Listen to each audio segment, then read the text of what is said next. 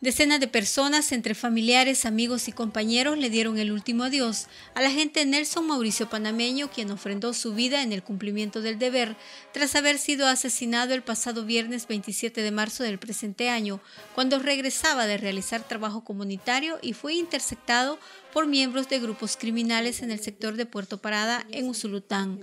Los actos fúnebres se llevaron a cabo en el Cementerio General de Jiquilisco, en ese departamento panameño es la personificación del policía ideal.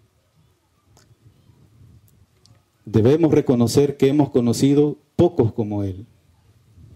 Aunque en todo el país hay hombres y mujeres en la institución sacrificados, entregados, disciplinados, panameño era un hombre integral.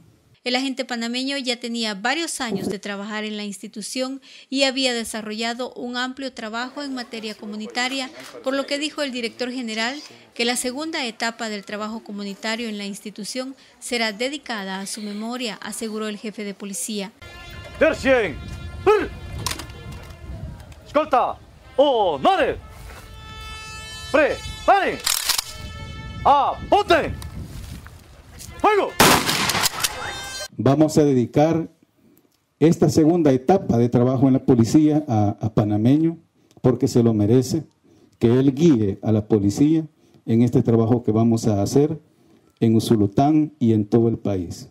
Sobre las investigaciones del asesinato en contra de este agente, el comisionado Ramírez Landaverde dijo que ya se está trabajando para determinar responsabilidades.